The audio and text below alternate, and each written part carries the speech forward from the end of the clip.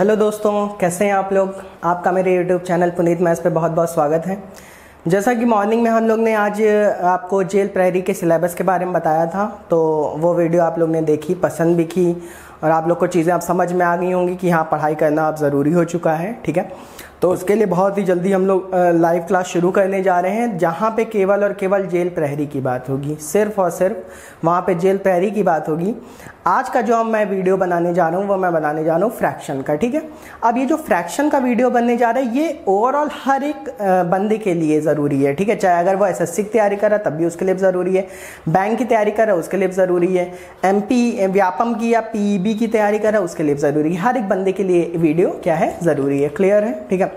तो वही चीज़ है कि आज मैं आपको लिए फ्रैक्शन की वीडियो बनाने जाऊँ। फ्रैक्शन का जो मैं कॉन्सेप्ट है, वो बेसिक टू एडवांस पूरा क्लियर करा दूँगा। क्लियर ठीक है? तो आइए शुरू करते हैं आज का वीडियो फ्रैक्शन सबसे पहले आपको ये पता होना चाहिए बेटा कि फ्रैक्शन होता क्या है। बच्चों को यही नहीं पता होता कि फ्रैक्शन क्या होता है ना, ठीक है? तो सबसे पहले हम लोग फ्रैक्शन के बारे में जानेंगे, फ्रैक्शन क्या होता है, फ्रैक्शन को किस तरह से यूज़ किया जा सकता है, फ्रैक्शन का यूज़ हम कितने अच्छे तरीके से, बेहतर तरीके से कर सकते हैं। बेटा, अगर फ्रैक्शन का यूज़ करना आपको आ गया तो समझ लो मैथ्स के बहुत सारे कॉन्सेप्ट आपके ऐसे ही क्लियर हो जाएँगे। मैं मैं गारंटी ले रहा हूँ, मैं बहुत सारे कॉन्सेप्ट केवल फ्रैक्शन की हेल्प से आपके कंप्लीट करा दूँगा, क्योंकि फ्रैक्शन क्या एक बेसिक कॉन्सेप्ट है। बेसिक कॉन्सेप्ट है जिसके लिए जो कि पूरी मैथ्स में कहीं पे भी यूज़ हो जाता है, ठीक है? और फ्रैक्शन से कैलकुलेशन करना इतनी आसान हो जाता है कि पूछा जैसे फ्रैक्शन से लोगों को लगता है, डर लगता है, ठीक है?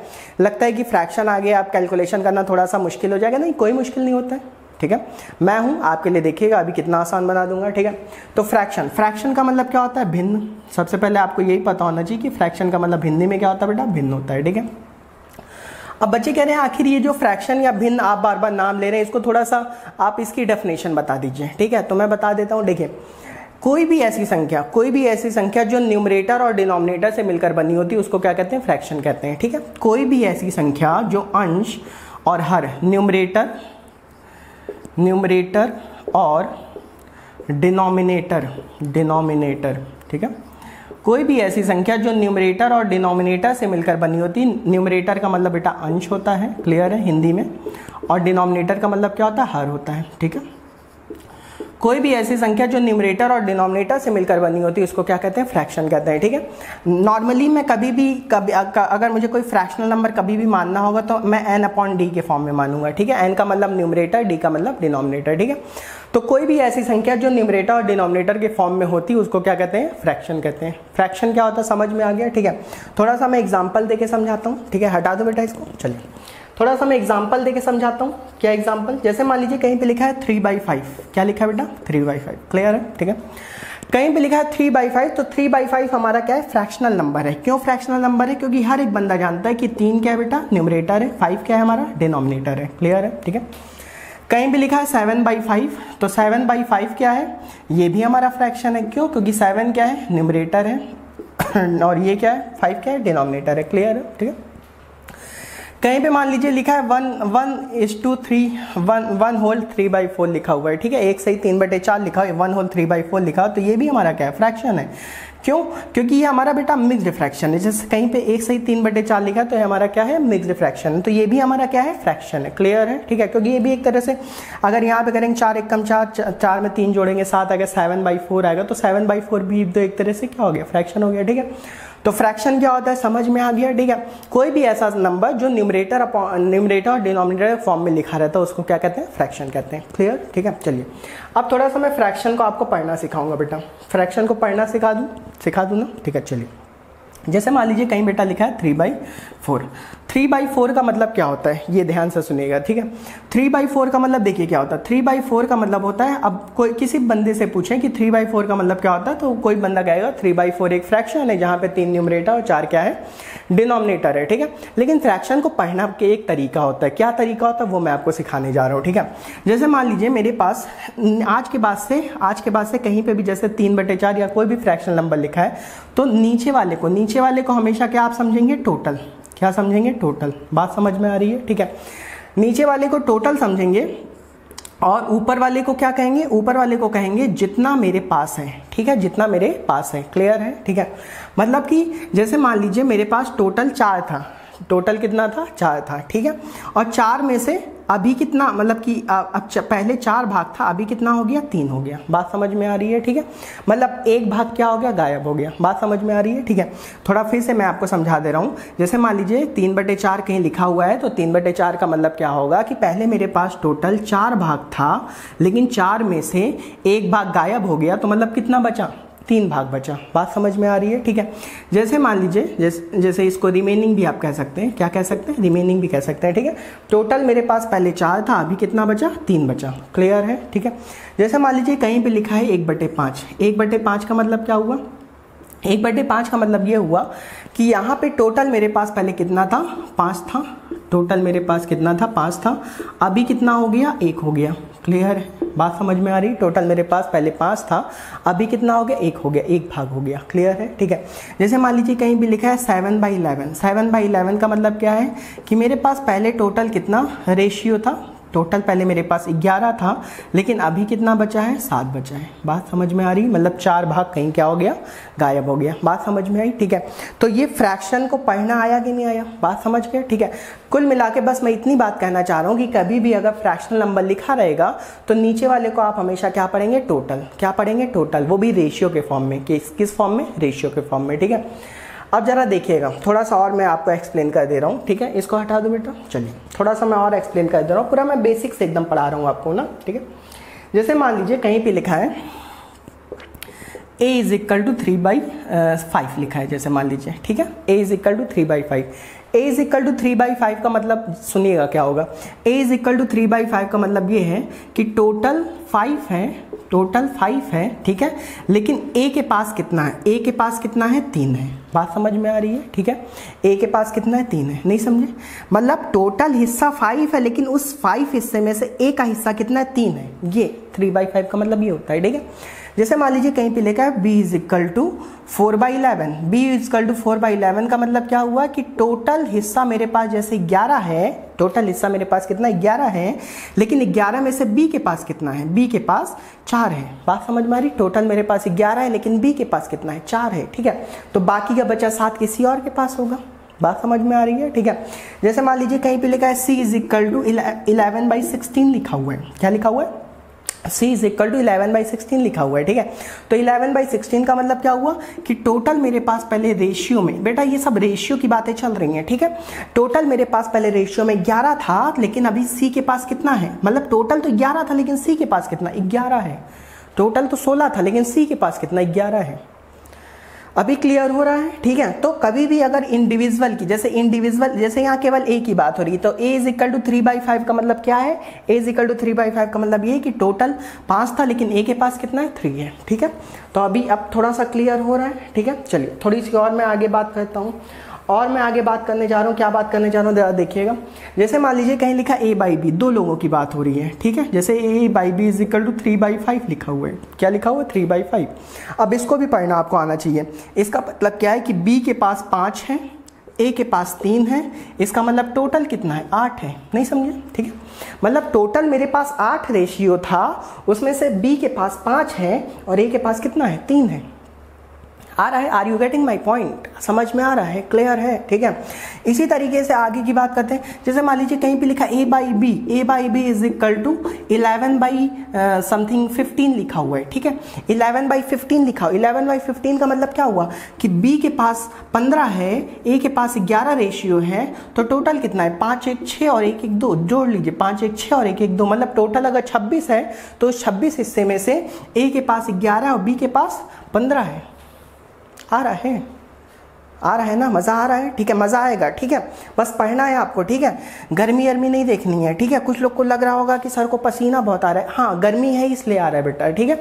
लेकिन अगर आप किसी काम को मन से करेंगे तो कोई गर्मी सर्दी नहीं लगती है। क्लियर है? ठीक है? चलिए, ये काम मैं आपके लिए बहुत मन से कर रहा हूँ, ठीक है? जैसे मान लीजिए कहीं पे लिखा A by B is equal to two by nine लिखा हुआ है। क्या लिखा हुआ? A is equal to two by nine लिखा हुआ है। तो A is equal to two by nine का मतलब क्या हुआ? जी बी के पास नौ है और ए के पास दो है बी के पास नौ है और ए के पास दो है। इसका मतलब टोटल कितना ग्यारह है। टोटल ग्यारह में से ए के पास दो है और बी के पास नौ है। बात समझ गए? क्लियर है सबको? ठीक है? चलिए। तो अभी क्लियर हो गई। इंडिविजुअल जब लिखा रहे, जैसे यहाँ पे कल A is equal to three by five लिखा होता है तो इसका मतलब क्या होता है? कि टोटल पाँच है तो ए के पास कितना है? तीन है। लेकिन अगर A by B is equal to three by five लिखा है, इसका मतलब क्या हुआ? कि ए के पास तीन रेशियो है बी के पास पाँच रेशियो है तो टोटल कितना रेशियो आठ रेशियो है। अब आ रहा है समझ में? ठीक है?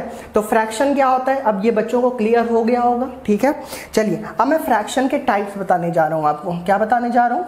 फ्रैक्शन के टाइप्स बताने जा रहा हूँ टाइप्स ऑफ़ फ्रैक्शन बताने जा रहा हूँ, ठीक है? कि फ्रैक्शन के कितने टाइप्स होते हैं? अब देखिए फ्रैक्शन के टाइप्स कितने होते हैं, ठीक है? बेटा देखो फ्रैक्शन के जो टाइप्स होते हैं बेसिकली फ्रैक्शन के थ्री टाइप्स होते हैं। कितने टाइप्स होते हैं? थ्री टाइप्स होते हैं। क्लियर है? ठीक है? बेसिकली फ्रैक्शन के तीन थ्री टाइप्स होते हैं। जो पहला फ्रैक्शन का टाइप्स होता है, उसको कहते हैं सिंपल फ्रैक्शन क्या कहते हैं? सिंपल फ्रैक्शन क्लियर है? ठीक है? फ्रैक्शन का जो पहला टाइप होता है, उसको कहते हैं सिंपल फ्रैक्शन क्लियर है? ठीक है? सिंपल फ्रैक्शन का मतलब सरल भिन्न। इसको हिंदी में क्या कहते हैं? सरल भिन्न। बात समझ में आ रही? सरल भिन्न। सिंपल फ्रैक्शन सरल भिन्न। क्लियर है? ठीक है? अगला जो फ्रैक्शन का टाइप होता है, उसको कहते हैं डेसिमल फ्रैक्शन कौन सा fraction decimal fraction decimal fraction decimal fraction मतलब दशमलव भिन्न। डेसिमल फ्रैक्शन मतलब दशमलव भिन्न। डेसिमल फ्रैक्शन मतलब दशमलव भिन्न भैया, ठीक है? बात समझ में आ रही, मज़ा आ रहा है, ठीक है? अच्छा अगला जो फ्रैक्शन का टाइप होता है, उसको कहते हैं, जैसे ये सिंपल फ्रैक्शन और सिंपल फ्रैक्शन मतलब सरल भिन्न, ये हो गया डेसिमल फ्रैक्शन डेसिमल फ्रैक्शन मतलब दशमलव भिन्न। और अगला जो फ्रैक्शन का टाइप होता है, उसको कहते हैं कॉन्टिन्यूस फ्रैक्शन कौन सा fraction continuous fraction continuous fraction का मतलब होता है सतत भिन्न, ठीक है? इसको हम लोग रिकरिंग डेसिमल भी कहते हैं। बात समझ में आ रही है? अभी इसकी बात आगे करेंगे। इसको पर हम लोग काफ़ी कुछ क्वेश्चन करेंगे एग्ज़ाम में बहुत पूछा भी जाता है। क्लियर है? ठीक है? लेकिन अभी जो सबसे पहले हम लोग बात करेंगे वो किसकी बात करेंगे? सिंपल फ्रैक्शन की बात करेंगे। क्लियर है? ठीक है? पहले हम लोग सिंपल फ्रैक्शन की बात करेंगे। सिंपल फ्रैक्शन के बाद, बात करने के बाद इसके ऊपर क्वेश्चन करेंगे, फिर डेसिमल फ्रैक्शन फिर कॉन्टिन्यूस फ्रैक्शन की बात करेंगे। ठीक है? और भी बहुत सारे वेराइटी के क्वेश्चन होते हैं, वो मैं आपको बताऊँगा। ठीक है? एक एक चीज़ चुन चुन के पढ़ाऊँगा ठीक है? आप परेशान ना हो घर में रहो सुरक्षित रहो पढ़ाई करते रहो। क्लियर है? चलिए आइए देखते हैं। सिंपल फ्रैक्शन अब देखिए बेटा जो सिंपल फ्रैक्शन होता है उसके भी तीन टाइप होते हैं। जो सिंपल फ्रैक्शन होता है अब बे, बेटा ये सब पूछा नहीं जाता है लेकिन हाँ इसका ये थ्योरेटिकल पार्ट होता है इसलिए मैं आपको बता दे रहा हूँ ठीक? क्योंकि कोई भी चीज़ पढ़नी चाहिए एकदम शुरू से पढ़नी चाहिए क्लियर है? ठीक है? तो आइए सिंपल फ्रैक्शन सिंपल फ्रैक्शन के भी तीन टाइप्स होते हैं। कितने टाइप्स होते हैं? थ्री टाइप्स होते हैं पहला दूसरा और तीसरा ठीक है? जो पहला होता है, उसको कहते हैं प्रॉपर फ्रैक्शन कौन सा फ्रैक्शन प्रॉपर फ्रैक्शन जो पहला फ्रैक्शन होता है, उसको कहते हैं प्रॉपर फ्रैक्शन जो अगला फ्रैक्शन होता है, उसको कहते हैं इम प्रॉपर फ्रैक्शन कौन सा fraction improper fraction clear है? और जो अगला फ्रैक्शन होता है, उसको कहते हैं मिक्सड फ्रैक्शन क्या कहते हैं? मिक्सड फ्रैक्शन ठीक है? इसको हिंदी में कहते हैं उचित भिन्न। क्या कहते हैं? उचित भिन्न या आप सम भिन्न भी कह सकते हैं, ठीक है? उचित भिन्न क्लियर है? इम्प्रॉपर फ्रैक्शन मतलब अनुचित भिन्न, ना? इसको हिंदी में कहते हैं अनुचित भिन्न। क्लियर है? ठीक है? मिक्स फ्रैक्शन को कहते हैं मिश्रित भिन्न। कौन से भिन्न? मिश्रित भिन्न। ठीक है? तो सिंपल फ्रैक्शन के भी तीन टाइप होते हैं। प्रॉपर फ्रैक्शन इंग्लिश में पढ़िए थोड़ा सा ठीक है? प्रॉपर फ्रैक्शन इम्प्रॉपर फ्रैक्शन और मिक्सड फ्रैक्शन प्रॉपर फ्रैक्शन मतलब उचित भिन्न, अनुचित भिन्न और मिश्रित भिन्न। ठीक है? अब प्रॉपर फ्रैक्शन क्या होता है? थोड़ा सा सीख लीजिए। ठीक है? क्योंकि प्रॉपर फ्रैक्शन के ऊपर क्वेश्चन पूछा है। ठीक है? जैसे मान लीजिए, मैंने कहीं लिखा है थ्री बाई फाइव ठीक है? थ्री बाई फाइव लिखा है या फिर मैंने कहीं लिखा है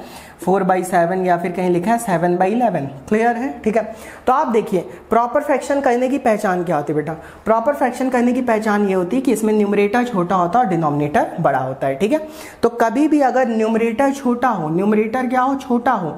और डिनोमिनेटर क्या हो? बड़ा हो। न्यूमरेटर क्या हो? छोटा हो भैया। न्यूमरेटर छोटा हो और डिनोमिनेटर क्या हो? बड़ा हो। अगर न्यूमरेटर छोटा और डिनोमिनेटर बड़ा हो तो उसको कहते हैं प्रॉपर फ्रैक्शन क्या कहते हैं? प्रॉपर फ्रैक्शन ठीक है? तो कभी भी अगर न्यूमरेटर छोटा होगा डिनोमिनेटर बड़ा होगा तो उसको कहेंगे भैया प्रॉपर फ्रैक्शन कहेंगे। क्या कहेंगे? प्रॉपर फ्रैक्शन कहेंगे। क्लियर है? ठीक है? तो एग्ज़ाम में इसमें क्वेश्चन कैसे पूछा आता है, ये सुन लो, ठीक है? एग्ज़ाम में ऐसे क्वेश्चन पूछा आता है कि बताओ प्रॉपर फ्रैक्शन की वैल्यू क्या होती है? क्या पूछा आता है? प्रॉपर फ्रैक्शन की वैल्यू क्या होती है? अब सुन लो क्या होती है। इधर लिख दू? इधर लिख देता हूँ, ठीक है?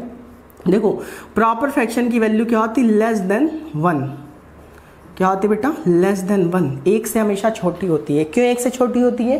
क्योंकि आप खुद देखो थ्री बाई फाइव अगर आप थ्री बाई फाइव करोगे तो ज़ीरो पॉइंट समथिंग आएगा। नहीं समझे? ठीक है? भाई, अगर थ्री बाई फाइव करोगे तो ऊपर ज़ीरो लगाओगे तो डेसिमल आएगा ज़ीरो पॉइंट सिक्स समथिंग आएगा और ज़ीरो पॉइंट सिक्स जो है, वो वन से छोटा है कि बड़ा है, छोटा है, ठीक है? अच्छा इसी तरह चार बटे सात करोगे, तब भी ज़ीरो पॉइंट समथिंग आएगा। इसी तरह सेवन बाई इलेवन करोगे, तब भी ज़ीरो पॉइंट समथिंग आएगा, ठीक है? तो बस मैं यही आपसे कहना चाह रहा हूँ। क्या कहना चाह रहा हूँ? मैं यही आपसे कहना चाह रहा हूँ कि जब न्यूमरेटर छोटा और डिनोमिनेटर क्या हो, बड़ा हो तो उसको क्या कहेंगे? प्रॉपर फ्रैक्शन याद रखोगे कि नहीं रखोगे? याद रखोगे भाई? क्लियर है सबको? मज़ा आ रहा है ओके अच्छा तो इसका मतलब ये हो गया कि प्रॉपर फ्रैक्शन क्या होता है, जब न्यूमरेटर छोटा और डिनोमिनेटर बड़ा हो तो उसको प्रॉपर फ्रैक्शन कहते हैं। अब बच्चे कह रहे हैं कि इम प्रॉपर फ्रैक्शन क्या होता है? बच्चे कह रहे हैं इम्प्रॉपर फ्रैक्शन क्या होता है? इम्प्रॉपर फ्रैक्शन देखो क्या होता है? जैसे मान लीजिए फाइव बाई थ्री लिखा हुआ है, या सेवन बाई फोर लिखा हुआ या इलेवन बाई सेवन लिखा है तो ये क्या है हमारा? ये इम्प्रॉपर फ्रैक्शन है। बात समझ गए? ठीक है? तो इम्प्रॉपर फ्रैक्शन क्या होता है? जहाँ पे न्यूमरेटर बड़ा हो और डिनोमिनेटर छोटा हो। भैया, मैं ये कह रहा हूँ, जहाँ पे कौन बड़ा हो? न्यूमरेटर बड़ा हो और डिनोमिनेटर छोटा हो, उसको क्या कहते हैं? इम प्रॉपर फ्रैक्शन कहते हैं। क्या कहते हैं? अनुचित भिन्न कहते हैं इम प्रॉपर फ्रैक्शन कहते हैं। क्लियर है? ठीक है? तो प्रॉपर फ्रैक्शन में क्या होगा? न्यूमरेटर छोटा होगा डिनोमिनेटर बड़ा होगा तो उसको प्रॉपर फ्रैक्शन कहेंगे। और प्रॉपर फ्रैक्शन की वैल्यू हमेशा एक से छोटी होती लेस देन वन होती। है एग्ज़ाम में बेटा पूछा गया, याद रखना। भैया, जेल, प्रहरी वाले सारे याद रखेंगे कि प्रॉपर फ्रैक्शन की वैल्यू लेस देन वन होती है, ठीक है? इसी तरीके से जो इम प्रॉपर फ्रैक्शन होता है इम प्रॉपर फ्रैक्शन की वैल्यू हमेशा एक से बड़ी होती है। एक से बड़ी होती। है क्यों एक से बड़ी होती? है क्योंकि इसमें न्यूमरेटर बड़ा होता है डिनोमिनेटर छोटा होता है, ठीक है? तो कभी भी अगर न्यूमरेटर बड़ा और डिनोमिनेटर छोटा तो उसको इम प्रॉपर फ्रैक्शन कहते हैं, भैया जेल प्रहरी वाले याद रखना भैया, ठीक है? कल फॉर्म भरने से काम नहीं चलेगा, पढ़ना भी पड़ेगा क्लियर है? ठीक है? तो इसका मतलब इम प्रॉपर फ्रैक्शन की वैल्यू हमेशा क्या होगी? ग्रेटर देन क्या होगी? ग्रेटर देन ग्रेटर देन और इक्वल टू वन ठीक है? ग्रेटर देन और इक्वल टू वन ठीक है? इम प्रॉपर फ्रैक्शन की वैल्यू हमेशा क्या होगी? ग्रेटर देन और इक्वल टू वन या तो एक से बड़ी होगी या एक के बराबर होगी। याद रखोगे, ठीक है? तो इम प्रॉपर फ्रैक्शन की वैल्यू क्या होगी? एक से बड़ी या एक के बराबर होगी, ठीक है? अगला भैया जो बैठा है, अगला बैठा है मिक्स फ्रैक्शन मिक्स फ्रैक्शन का मतलब होता है मिश्रित भिन्न ठीक है? बेटा, आप लोग ने सुना होगा कभी कभी सैटरडे में, आजकल तो भैया हर एक सैटरडे घर ही में मन रहा है, नहीं? ठीक है?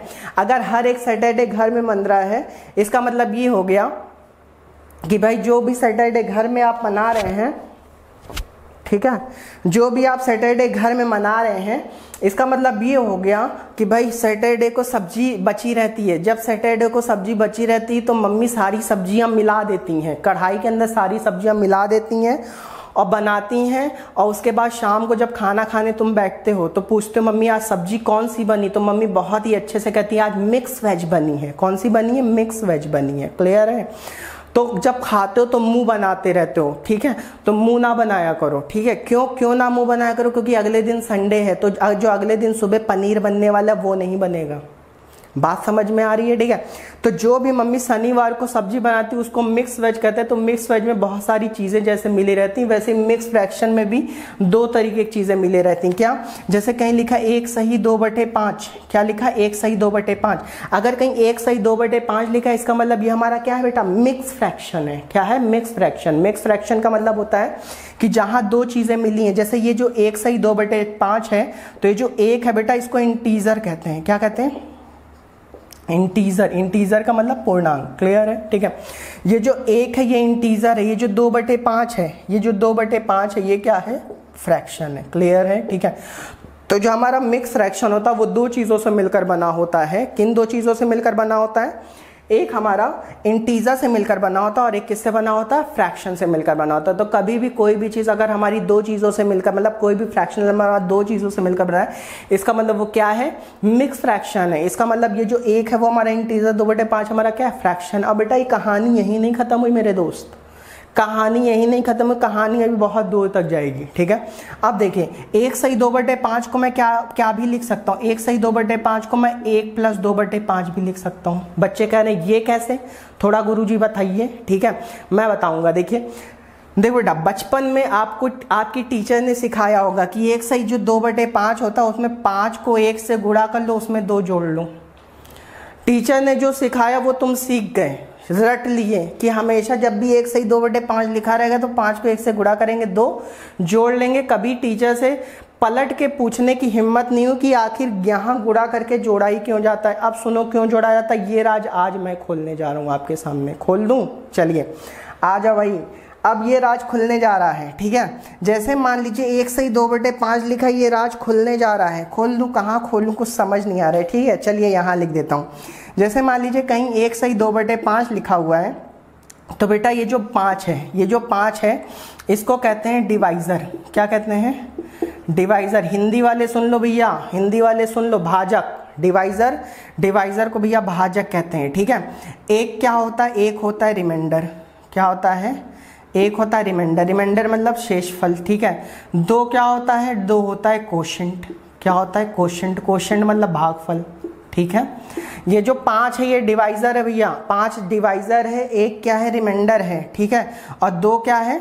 नहीं सॉरी ये थोड़ा सा गड़बड़ हो गया भैया, मुझी से गड़बड़ हो गया। यहाँ पे लिख लो, उल्टा कर लो इसको। ये एक क्या है क्वेश्चन है। एक क्या है? क्वेश्चन है। क्वेश्चन मतलब भागफल गर्मी इतनी है ना तो गड़बड़ हो जाता है भाई। ठीक है, कोई दिक्कत वाली बात नहीं, मैंने अब सही कर दिया। अब सही कर लेना तुम भी अपनी कॉपी में, ठीक है?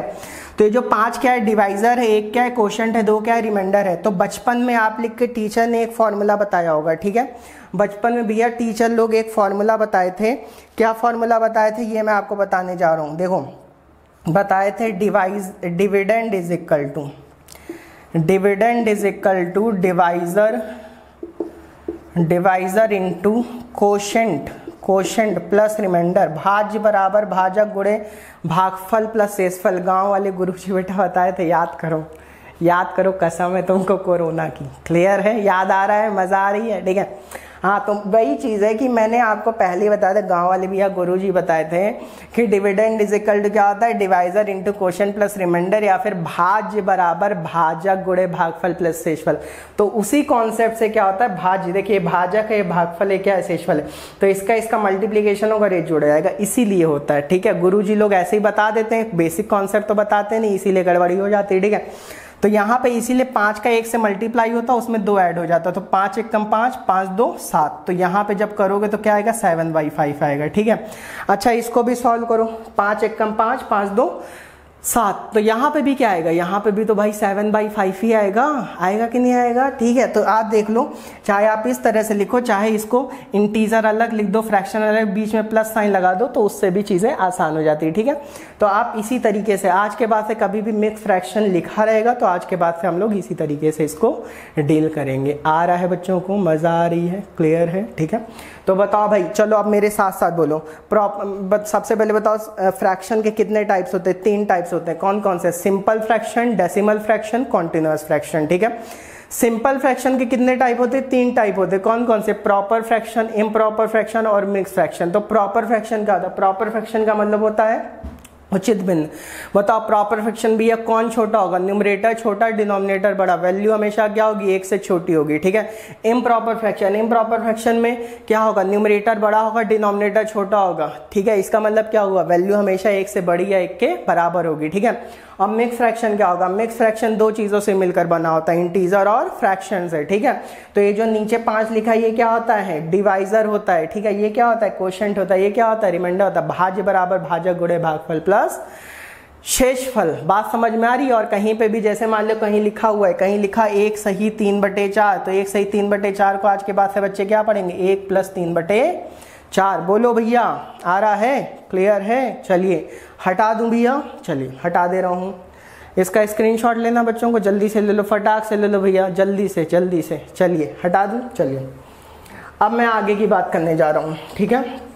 अब मैं फ्रैक्शंस का आपको कैलकुलेशन करना बताने जा रहा हूँ, ठीक है? मतलब फ्रैक्शन का कैलकुलेशन कैसे करें? क्योंकि फ्रैक्शन को जो जोड़ते घटाते हैं, आप लोग बहुत गंदे तरीके से जोड़ते घटाते इतने गंदे तरीके से जोड़ते घटाते हैं कि मैं कुछ कहने लायक अब नहीं बचा। क्लियर है? तो अब मैं कुछ कहने लायक नहीं बचा, इससे अच्छा है कि जब मैं कुछ कह नहीं पाऊँगा तो इससे अच्छा है कि मैं बता दूँ, आपको सिखा दूँ। सिखा दूँ? ठीक है? तो फ्रैक्शन का जोड़ घटाना अब हम लोग सीखने जा रहे हैं। देखिएगा, अभी आप लोग गलती करेंगे। अभी आप लोग गलती करेंगे और उसी गलती से मैं आपको आगाह करूँगा और सारी चीज़ें सिखा दूँगा। ठीक? चलिए।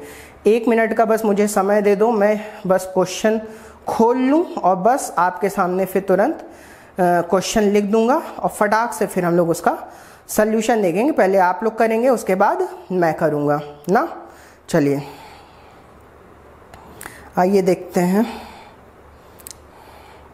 ओहो, नेट भी नहीं काम कर रहा है। नेट का बड़ा दिक्कत चलता है यहाँ भाई मेरे घर में। ठीक है, क्या करोगे? ठीक है? चलिए, खुल गया। खुल गया भाई, आप लोग आप लोग बस मनाते रहो। सारी चीज़ें सही सही हो जाए, मज़ा आ जाएगा, ठीक है? चलिए, आइए देखते हैं। शुरू करें? चलिए। पहला क्वेश्चन है। खुल जा खुल जा सिम सिम खुल जा भाई, खुल जा सिम सिम नहीं खुलेगा? खुल जा, वहाँ से आप लोग भी कहिए। खुल जा सिम सिम हम्म? नहीं कहोगे? चलिए। आइए, खुल गया। धन्यवाद, ठीक है? आइए, शुरू करते हैं। तो आज का पहला क्वेश्चन ये है, ठीक है? देखिए, मैं बेटा अभी केवल मिक्स फ्रैक्शन को जोड़ा घटाए कैसे आता है, ये मैं आपको सिखाने जा रहा हूँ, ठीक है? सिखा दूँ? आज्ञा है, चलें, चलिए। आइए। देखिए, लिखा हुआ ग्यारह सही दो बटे सात, ना? प्लस सात सही तीन बटे चौदह, प्लस पाँच सही ग्यारह बटे इक्कीस, ना? ये लिखा हुआ है, ठीक है? इस क्वेश्चन को सॉल्व करके भैया आपको बताना है, इस क्वेश्चन का आंसर बताना लिखा हो, ग्यारह से दो बटे सात सात से तीन बटे चौदह, पाँच से ग्यारह बटे इक्कीस। इस क्वेश्चन का आंसर फटाक से बताइए, क्या हो सकता है इसका आंसर ना? इसका आंसर बताइए भाई, ज़रूरी है आपको बताना, ठीक है? जब तक आप लोग नहीं तक तब तक मैं करूँगा नहीं, ठीक है? चलिए, इस क्वेश्चन का आंसर आइए देखते हैं, ठीक है? कर लिया होगा बच्चों ने। देखिए, कुछ बच्चे इस क्वेश्चन को कैसे सॉल्व करते हैं, ये मैं आपको बता दे रहा हूँ, देख कैसे कैसे सॉल्व करते हैं। सबसे पहले बच्चे कहते हैं, ग्यारह को सात से मल्टीप्लाई करते हैं, ना? फिर दो ऐड कर देते हैं। तो यहाँ सतहत्तर बटे, उन्यासी बटे सेवन लिख देते हैं, ठीक है? फिर यहाँ चौदह सतह अट्ठानवे अट्ठानवे में तीन जोड़ते हैं। एक सौ एक आता है, एक सौ एक बटे चौदह लिख देते हैं। फिर इक्कीस पंचे, एक सौ पाँच। अरे, दुनिया भर की यार पंचायत नहीं करनी है भाई। क्लियर है? ठीक है? अब देखिए, अभी अभी मैंने सीखा है, वही चीज़ मैं अप्लाई करके आपको दिखाने जा रहा हूँ, ठीक है? जैसे कहीं ग्यारह से ही दो बटे सात लिखा है तो ग्यारह से ही दो बटे सात को आज के आज के बाद से बच्चे क्या लिखेंगे सारे बच्चे? सबसे पहले तोड़ लो तोड़ना अभी अभी सिखाया था। ग्यारह सही दो बटे सात को, ग्यारह प्लस दो बटे सात लिख सकते हैं। बोलो मेरे दोस्तों, लिख सकते हैं कि नहीं लिख सकते हैं? लिख सकते हैं, ठीक है? सात सही तीन बटे चौदह को क्या लिख सकते हैं? सात प्लस तीन बटे चौदह, लिख सकते हैं? लिख सकते हैं, ठीक है? पाँच से ग्यारह बटे इक्कीस को क्या लिख सकते हैं? पाँच प्लस ग्यारह बटे इक्कीस लिख सकते हैं। अभी अभी सिखाया था यार, कोई झूठ नहीं बोलेगा भाई, ठीक है? कोई झूठ नहीं बोलेगा यार, ठीक है? अभी यही बताया था। बताया था कि नहीं बताया था? सो तो नहीं गए थे भाई। वीडियो देखते थे कुछ लोग क्या कहते हैं? वीडियो देखते देखते सो भी जाते हैं, ठीक है? क्या होता है कि दिन भर पबजी, वबजी खेलते रहते हैं, उसके बाद थक जाते हैं और जब थक जाते हैं तो उसके बाद जो है कि रात में ऐसे वीडियो मेरी खोलते हैं, ऐसे देखते देखते देखते देखते देखते देखते सो गए, ठीक है? ये काम नहीं करना यार, ठीक है? जब भी मैथ को पढ़ना है तो पूरे जोश के साथ पढ़ना है। क्लियर है? ठीक है। तो सो, सोना नहीं है, आइए चलिए। ठीक है, मैं बताता हूँ। तो ग्यारह से दो बटे सात को क्या लिखना है? ग्यारह प्लस दो बटे सात, इसको क्या लिखना है? सात प्लस तीन बटे चौदह, इसको क्या पाँच प्लस ग्यारह बटे इक्कीस। ठीक है? अब देखिए, इसको कैसे सॉल्व करेंगे? सबसे पहले जो इंटीजर है बेटा, उनको ऐड कर लो। बताओ ग्यारह में सात जोड़ो। ठीक है? और फिर उसमें पाँच जोड़ो पहले सारे इंटीजर जोड़ लो, ठीक है? तो बताओ, ग्यारह, सात, अट्ठारह और अट्ठारह, पाँच, तेईस। तेईस आया कि नहीं आया? आ गया। बोलो भाई, ठीक है? फिर उसके बाद सारे जो फ्रैक्शनल नंबर है, इनको ब्रैकेट के अंदर बंद कर लो। दो बटे सात प्लस तीन बटे चौदह प्लस ग्यारह बटे इक्कीस। बोलो मेरे दोस्तों, आ रहा है? ठीक है? तेईस तो तेईस सही है बताओ सात, चौदह, इक्कीस। सात, चौदह, इक्कीस का एलसीएम क्या होता है? एलसीएम लेना आता है कि नहीं आता बच्चों को? आता है, पक्का? बता दूँ क्या? चलो बता देता हूँ। देखो देखो, सात चौदह इक्कीस। सात चौदह इक्कीस में सबसे बड़ा नंबर कौन है बताओ? सात चौदह इक्कीस में सबसे बड़ा नंबर इक्कीस है, ठीक है? तो जो सबसे बड़ा नंबर है उसको उठा लो। उठा लिए, इक्कीस को उठा लिया, ठीक है?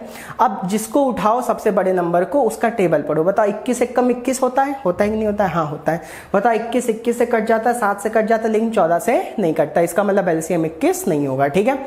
चलो, इक्कीस दुना बयालीस। इक्कीस दुना बयालीस। बयालीस इक्कीस से भी कट जाता है, चौदह से भी और सात से भी, ठीक है? तो इसका मतलब सात, चौदह, इक्कीस का एलसीएम क्या होगा बेटा? बयालीस होगा। लिख लिया एल्सियम क्लियर है? ठीक है। अब जब सात, चौदह, इक्कीस का एलसीएम बयालीस आ गया तो इस बयालीस को सात से भाग दो। तो बयालीस को सात से भाग दोगे तो कितना आएगा? छः आएगा। बयालीस बटे सात करोगे मेरे भाई तो छः आएगा। और छः बयालीस बटे सात करोगे छः आएगा। छः को दो से मल्टीप्लाई कर दो तो छः दो ना बारह, ठीक है? इसी तरह बयालीस को चौदह से भाग दे दो डिवाइड कर दो तो बयालीस को चौदह से भाग दोगे, तीन आएगा, तीन तिया, नौ, ना? ठीक है, इसी तरह बयालीस को इक्कीस से भाग दे तो दो आएगा, ग्यारह दुना बाईस। बोलो मेरे दोस्त, आ रहा है, ठीक है? तो देखो, तेईस तो तेईस सही है प्लस बारह में नौ जोड़ो, इक्कीस आएगा आएगा कि नहीं आएगा? और इक्कीस में बाईस जोड़ोगे तो तिरालीस आएगा। क्या आएगा? तिरालीस, ठीक है? तो तेईस प्लस तिरालीस बटे बयालीस। आया कि नहीं आया? ये बात समझ में आ गई, ठीक है? अच्छा यार, ये बताओ ये जो बयालीस है, ये जो बयालीस है, तिरालीस को काट सकता है कि नहीं काट सकता? काट सकता है। एक बार तो काट सकता है ना, ठीक है? तो बयालीस से कम बयालीस। तो जितनी बार टेबल पढ़ो, उसको यहाँ लिख दो। बयालीस से कम बयालीस हुआ और तिरालीस में बयालीस का एक बचा। तो एक से ही एक बटे बयालीस आया कि नहीं आया? ठीक है? भाई, मैंने कहा बयालीस से कम बयालीस, एक बार एक बार टेबल पढ़ा, आगे लिख दो, क्योंकि भागफल आगे लिखते हैं ना, ठीक है? फिर तिरालीस में इस बयालीस का कितना बचा? एक बचा, ठीक है? तो एक से एक बटे बयालीस, ठीक है? तो आंसर क्या आ गया? तेईस में एक जोड़ो, ये इंटीजर इंटीजर जुड़ जाएगा ना? तो आंसर अगर तेईस में एक जोड़ो, चौबीस चौबीस से एक बटे बयालीस, ये इसका क्या है? आंसर, ठीक है? तो इस क्वेश्चन का जो फाइनली आंसर आ गया, वो क्या आ गया बेटा? चौबीस से एक बटे बयालीस, आ रहा है बच्चों को, ठीक है? तो इस क्वेश्चन का जो फाइनली आंसर आ गया, वो आ गया चौबीस सही, एक बटे बयालीस। आ रहा है बच्चों को, मज़ा आ रहा है। ठीक है, मज़ा आना चाहिए यार, ठीक है? सबसे ज़रूरी चीज़ है मज़ा और सबसे ज़रूरी चीज़ है मैथ्स। ज़िंदगी में कल दो ही चीज़ें ज़रूरी हैं, एक मैथ्स और एक मज़ा, ठीक है? और मैथ्स पढ़ते समय जब तक मज़ा ना है तब तक बेकार है, ठीक है? फिर से मैं एक बार एक्सप्लेन कर दूँ। सबसे पहले 11 प्लस दो बटे सात लिख लिया, सात प्लस तीन बटे चौदह लिख लिया, पाँच प्लस ग्यारह बटे इक्कीस लिख लिया, ग्यारह सात अट्ठारह अट्ठारह पाँच तेईस प्लस दो बटे सात प्लस तीन बटे चौदह प्लस ग्यारह बटे इक्कीस, ठीक है? तेईस तो तेईस है, सात, चौदह, इक्कीस कैल्सियम बयालीस बयालीस बटे सात, छः छः दुना बारह, बयालीस बटे चौदह, तीन तीन तीन, नौ, बयालीस बटे इक्कीस, दो, ग्यारह दुना। भाई सबको जोड़ लो, तेईस, ठीक है? अगला क्वेश्चन कराऊँ पक्का? चलिए, हटा दो बेटा, चलिए। अगला क्वेश्चन मैं कराने जा रहा हूँ। ठीक? गर्मी के कारण भैया जान निकल जाती पढ़ाते पढ़ाते। हैं आप लोग वीडियो देखा करिए लाइक किया करिए शेयर किया करिए और पूरे रीवा में फैला दो। पूरे रीवा में ये सारी वीडियो फैला दो कि भैया कोई आपको मैथ पढ़ा रहा है, ठीक है? कोई मैथ पढ़ा रहा है और पढ़ डालो, ठीक है? बात समझ में और एक बार तुमने वीडियो बेटा फैला दी ना, मार्केट में आग लग जाएगी, ठीक है?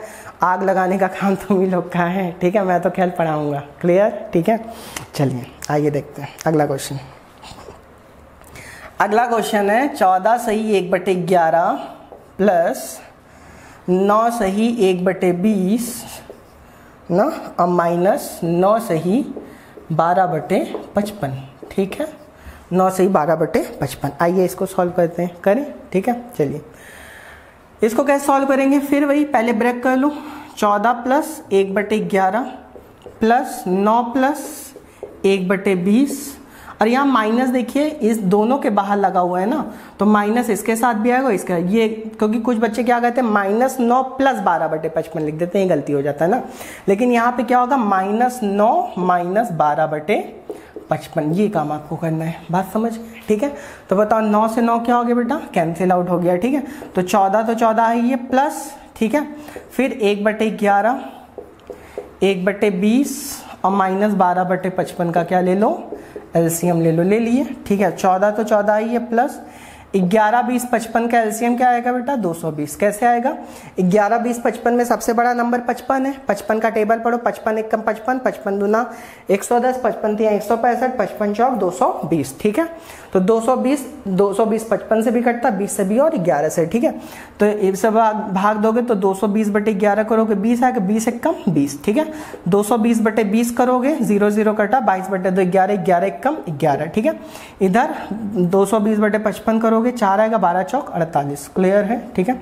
तो यहाँ चौदह तो चौदह है ये प्लस बीस में ग्यारह जोड़ोगे, इकतीस आएगा, और इकतीस में से अड़तालीस गया, कितना बचा? माइनस सत्रह बटे दो सौ बीस।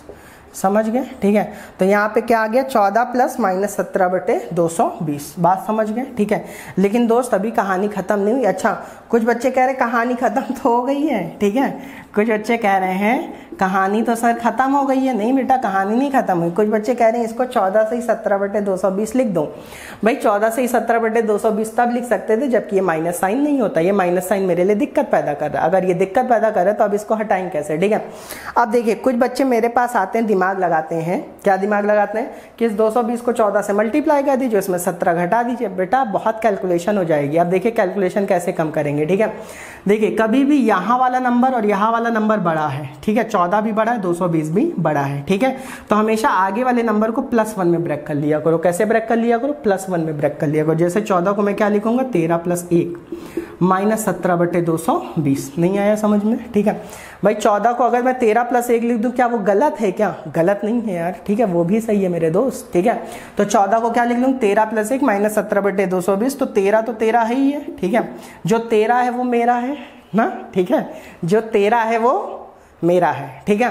तो यहाँ तेरह तो तेरह है ही है और 220 एक कम 220 220 में सत्रह गया कितना बचा? 203 बटे 220 तो आंसर क्या आ गया? तेरह सही 203 बटे 220 तो फाइनली इस क्वेश्चन का आंसर आ गया, तेरह सही 203 बटे 220 आ रहा है बच्चों को, ठीक है? देखिए, यहाँ से मैं एक बार फेस पूरा ही फेस एक्सप्लेन कर दूँ? चलिए एक बार फेस एक्सप्लेन कर दूँ ठीक है? इसको लिख लिया, चौदह प्लस एक बटे ग्यारह। नौ प्लस एक बटे बीस, माइनस नौ, माइनस बारह बटे पचपन। नौ से नौ कैंसिल आउट हो गया। चौदह केवल बचा, प्लस एक बटे ग्यारह, प्लस एक बटे बीस, माइनस बारह बटे पचपन। ग्यारह, बीस, पचपन कैल्सियम दो सौ बीस। दो सौ बीस बटे ग्यारह करोगे, बीस आएगा, बीस एक कम बीस दो सौ बीस बटे बीस करोगे, ग्यारह एक कम ग्यारह। दो सौ बीस बटे पचपन करोगे, चार, बारह चौक अड़तालीस। बीस में ग्यारह जो इकतीस इकतीस में अड़तालीस गया, माइनस सत्रह बटे दो सौ बीस, ठीक है? फिर इसको प्लस माइनस माइनस चौदह माइनस सत्रह बटे दो सौ बीस। अब यहाँ से मैंने क्या किया? ये भी नंबर बढ़ा, ये भी नंबर बढ़ा, चौदह को ब्रेक कर लिया, तेरह प्लस एक में, ठीक है? तो तेरह प्लस एक माइनस सत्रह बटे तो तेरह तो तेरह है, दो सौ बीस एक कम, दो सौ बीस। दो सौ बीस में सत्रह गया, दो सौ तीन बटे तो आंसर आ गया तेरह सही, दो सौ तीन बटे दो सौ बीस। क्लियर है मेरे भाई? ठीक है? मज़ा आ रहा है, ठीक है? मज़ा आना चाहिए यार, ठीक है? बिना मज़ा के कोई ज़िंदगी का कोई मज़ा नहीं है, ठीक है? और एक क्वेश्चन करा दूँ, धांसू सा? धांसू सा क्वेश्चन करा दो मेरे दोस्त? चलो, अपने दोस्तों को मैं एक धांसू सा क्वेश्चन करा देता हूँ। ठीक है? तो ये खुलता नहीं है ना। नेट की भी दिक्कत है। तो खुलता नहीं है क्वेश्चन तो क्या करूँ? चलो, खुलने दो, देखता हूँ। शायद खुल जाए। तब तक इसको हटा दो, इसका स्क्रीनशॉट ले लीजिए। ले लिए? चलिए। हटा देता है इसको।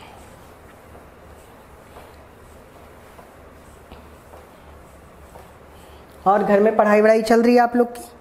भाई घर में पढ़ाई करते रहो यार, ठीक है? इतनी मेहनत की जा रही है तुम्हारे लिए, ठीक है? कम से कम इस मेहनत को देखते हुए ही आप मेहनत कर डालिए, ना? जितना मुझे पढ़ाने में मज़ा आता है, उतना ही आपको पढ़ने में भी मज़ा आना चाहिए, ठीक है? तब काम बनेगा, ठीक है? तभी हमारी और आपकी दोस्ती पॉसिबल है, ठीक है? कि भाई जितना मुझे पढ़ाने मज़ा आ रहा है, उतना ही आपको पढ़ने मज़ा आना चाहिए। तो फिर कहानी आगे बढ़ेगी, ठीक है? क्वेश्चन यार डाउनलोड हो रहा है। चलिए, कोई बात नहीं। इसको डाउनलोड होने दीजिए, तब से मैं कुछ और क्वेश्चन आपको कराने जा रहा हूँ, ठीक है? करा दूँ? चलिए, और भी क्वेश्चन है, कोई दिक्कत नहीं है। क्वेश्चन की कमी नहीं है, एक जगह से नहीं होगा तो कल उसको करा देंगे डाउनलोड जब हो जाएगा, ठीक है? क्वेश्चन कमी नहीं है, एक जगह से अगर हमें क्वेश्चन नहीं मिलेगा तो हम लोग दूसरी जगह से क्वेश्चन उठाएँगे भाई। क्वेश्चन तो उठाने हैं, ना? चलिए, एक अगला क्वेश्चन देखिए। यहाँ पे जैसे मान लीजिए लिखा हुआ है एक हल्का सा question कराऊँ three by four plus one by two यार, ये क्वेश्चन तो हर एक बंदा कर लेगा भाई, ठीक है?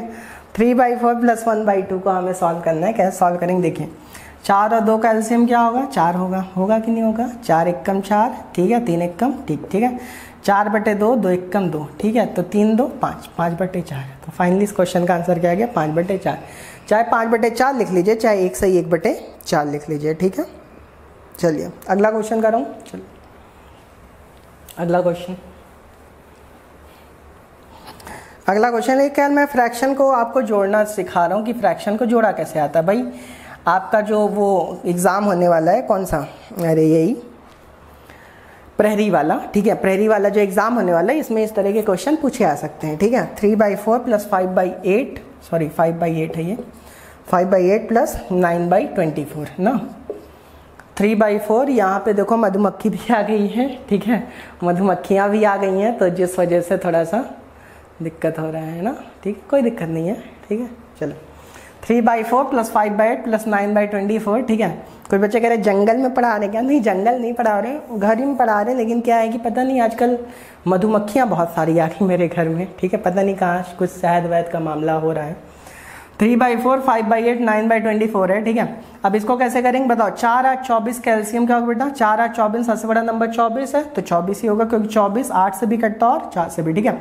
चौबीस बटे चार छः छः तियाँ अट्ठारह चौबीस बटे आठ, तीन, पाँच तियाँ, पंद्रह, ना?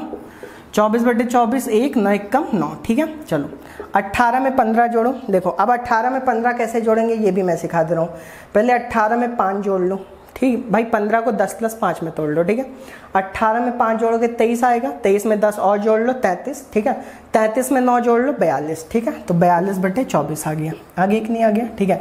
अब बयालीस बटे चौबीस किससे कटेगा? कटेगा क्या किसी से? हाँ कटेगा। किससे कटेगा? दो से कटेगा, तीन से कटेगा, ठीक है? तीन से काट लेते हैं। तीन एक कम तीन तीन चौक बारह, ठीक है? और तीन और चौबीस, ठीक है? और दो से और काट लो, ठीक है? दो सत्ते चौदह और दो चौक आठ आंसर क्या आ गया सेवन बाई फोर क्लियर है? ठीक है? भाई चार आठ चौबीस कैल्शियम चौबीस होता है। चौबीस बटे चार किया, आठ आ गया ना ठीक है? चौबीस बटे चार आठ आ गया और चौबीस आठ आया, आठ यहाँ पे चौबीस बटे चौबीस बटे चार के छः आया ना? छः छः तीन, अट्ठारह, चौबीस बटे आठ तीन, पाँच तीन, पंद्रह, चौबीस बटे चौबीस एक, नौ एक कम नौ, जोड़ लिया आंसर आ गया। क्लियर है? ठीक है? चलिए, अगला क्वेश्चन देखते हैं। ये सारे क्वेश्चन तो ठीक हैं। अभी देखिए, बहुत धांसू क्वेश्चन फ्रैक्शन चलेगा भाई, कोई जल्दी ना मचाना मुझसे। कोई जल्दी नहीं मचाएगा कि सर, जल्दी जल्दी में सब उल्टा पुल्टा मैं कराना चालू कर दूँ, ठीक है? तो कोई जल्दी नहीं मचाएगा फ्रैक्शन अभी चलेगा कुछ दिन, ठीक है? चलिए, एक अगला क्वेश्चन मैं कराने जा रहा हूँ। आइए देखते हैं। हटा दे इसको। चलिए।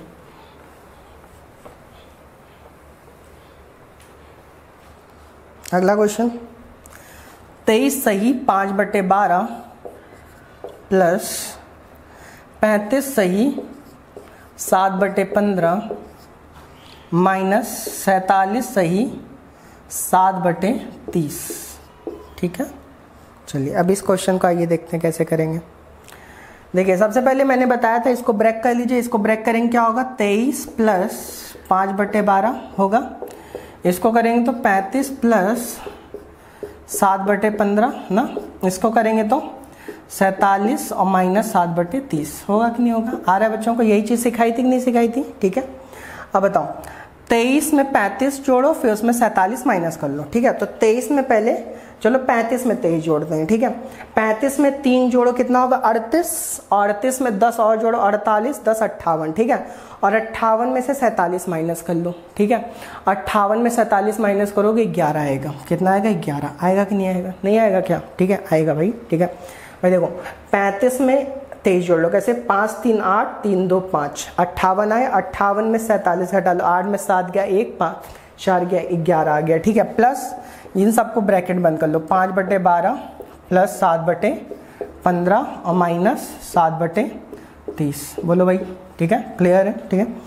अच्छा अब 11 तो 11 ही है 12 पंद्रह, तीस का एलसीएम लोगे कितना आएगा? 60 आएगा। नहीं आएगा क्योंकि 12 15 30 में सबसे बड़ा नंबर 30 है। 30 को पकड़ लो 30 कट 30 एक कम 30 30 30 से कटता है 15 से कटता है 12 से नहीं कटता 30 दुना साठ साठ तीस से भी कटता 15 से भी और 12 से, ठीक है? तो 60 बटे बारह किया, पाँच, पचम, पच्चीस, ठीक है? प्लस साठ बटे पंद्रह किया चार, सात चौक, अट्ठाईस, प्लस, सॉरी, माइनस साठ बटे तीस किया दो, सात दो ना चौदह, ना? बोलो मेरे दोस्त, आ रहा है, ठीक है? ग्यारह तो ग्यारह है ये प्लस यहाँ पे देखो आ, आ, क्या नाम है? अट्ठाईस में से चौदह गया तो चौदह बचेगा। अट्ठाईस में चौदह गया चौदह बचेगा ना? और पच्चीस में चौदह और जोड़ लो। तो पच्चीस में चौदह जोड़ोगे तो कितना आएगा? पच्चीस में चार पहले जोड़ो उनतीस और उनतीस में दस और जोड़ लो उनतालीस। थर्टी नाइन अपॉन सिक्सटी आ गया ना? Thirty nine upon sixty. Clear है? ठीक है? तो यहाँ पे क्या आ गया? ग्यारह प्लस इसको काट काटना काट लो, तीन से तीन एक कम तीन तीन तीन नौ और तेरह बटे बीस। तो आंसर क्या आ गया? ग्यारह सही, तेरह बटे बीस। तो फाइनली इस क्वेश्चन का आंसर क्या आ गया? ग्यारह सही, तेरह बटे बीस। ठीक है? ग्यारह सही, तेरह बटे बीस। समझ गए? कुछ गड़बड़ हो गई क्या? गड़बड़ तो नहीं होनी चाहिए मेरे ख्याल से। ठीक है? फिर से चेक कर लो चाहो तो भाई तेईस में पैंतीस जोड़ोगे, पैंतीस में तीन जोड़ा अड़तीस। अड़तीस, अट्ठावन में सैंतालीस गया, कितना बचा? ग्यारह तो ग्यारह लिख दिया, प्लस पाँच बटे बारह, प्लस सात बटे पंद्रह, माइनस सात बटे तीस। इसका एलसीएम साठ आएगा। बारह पंचे साठ पचम पच्चीस, इधर पंद्रह चौक साठ, सात चौक अट्ठाईस, इधर सात दूना चौदह। इधर चौदह है, पच्चीस में चौदह जोड़ोगे, उनतालीस, ठीक है? तीन से आठ, तीन कम तीन तीन आना, तीन ग्यारह से तेरह बटे बीस। क्लियर है सबको? आ रहा है समझ में बात? ठीक है? कितने मिनट का वीडियो हो गया? ठीक है? चौवालीस मिनट का हो गया। चलिए। और भी थोड़ा सा बता देता हूँ, फिर जाता हूँ, है ना? एक आध दो क्वेश्चन और करा देता हूँ। करा दें? इच्छा है? चलिए, एक आध क्वेश्चन और देखते हैं। हटा दी इसको। इसका स्क्रीनशॉट ले लीजिए।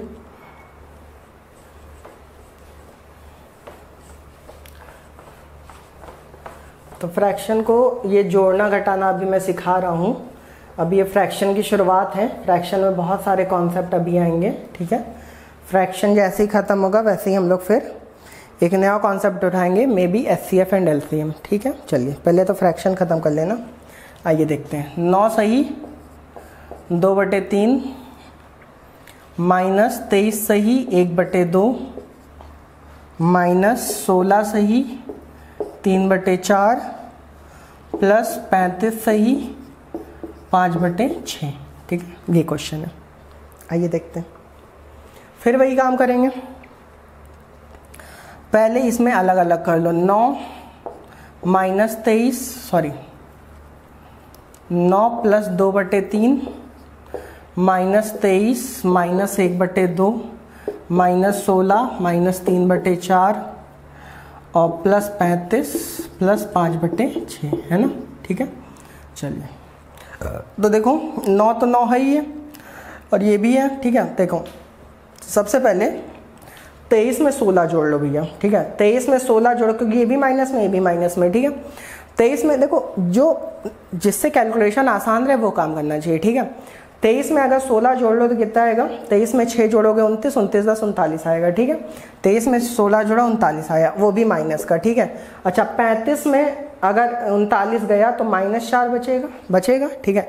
और माइ ये माइनस चार जो बचेगा, वो नौ में भी माइनस हो जाएगा तो नौ माइनस चार फाइनली पाँच आ जाएगा, नहीं आ जाएगा? बोलो। फिर से समझा दूँ?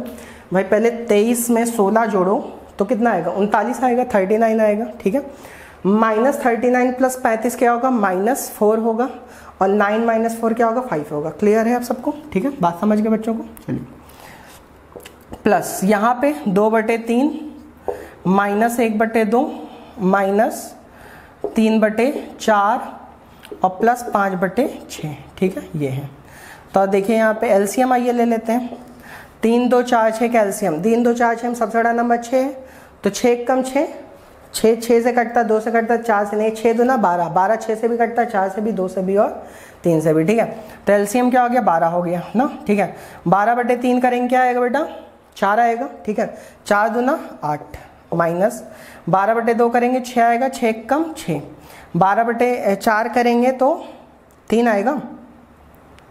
बोलो भाई, बारह बटे चार करेंगे तो तीन आ जाएगा ना? और तीन तिया नौ, बोलो, ठीक है ना? प्लस बारह बटे छः करेंगे, दो आएगा और पाँच दो ना दस। ठीक है ना? ठीक है? चलिए तो यहाँ पे देखो, नौ छः पंद्रह माइनस का, ठीक है? और माइनस के पंद्रह में प्लस दस जोड़ोगे, माइनस पाँच आएगा और आठ माइनस पाँच, तीन, ना? तो यहाँ फाइनली क्या आ गया? पाँच प्लस तीन बटे बारह, ठीक है? तो पाँच तो पाँच है ही, तीन बटे बारह का मतलब एक बटे चार। तो आंसर क्या आ गया? पाँच से एक बटे चार। देख लो भाई, सही था भाई दस आठ अट्ठारह होता है। अट्ठारह में से पंद्रह के तीन तो आएगा ना? ठीक है, पाँच से एक बटे चार। क्लियर है सबको? ठीक है? तो इस क्वेश्चन का आंसर आ जाएगा पाँच सही एक बटे चार। आ रहा है बच्चों को? ठीक है? चलिए। आज इतना ही रखें, ठीक है? आज इतना ही रखते हैं। कल इसी के आगे और भी क्वेश्चन करा के, ठीक है? फिर कल मैं आपको एक कॉन्सेप्ट बता दूँगा। एक आता है मतलब कि सीडी वाला कॉन्सेप्ट आता है मतलब सीडी की तरह ऐसे रहता है, वो भी कल कंप्लीट करा दूँगा, ठीक है? कल ये जो, ये कॉन्सेप्ट बच्चा ये करा दूँगा, उसके अलावा एक सीडी वाला कॉन्सेप्ट है, वो भी करा दूँगा, ठीक है? आज इतना ही रखते हैं, क्योंकि मैं थक गया हूँ, ठीक है? गर्मी बहुत हो रही है एनर्जी ज़्यादा लॉस हो गई, ठीक है? तो आज के लिए इतना ही, कल फिर मिलते हैं, तब तक घर में पढ़ाई करते रहिए, ठीक है? तो okay thank you so much और अपना ख्याल रखिए।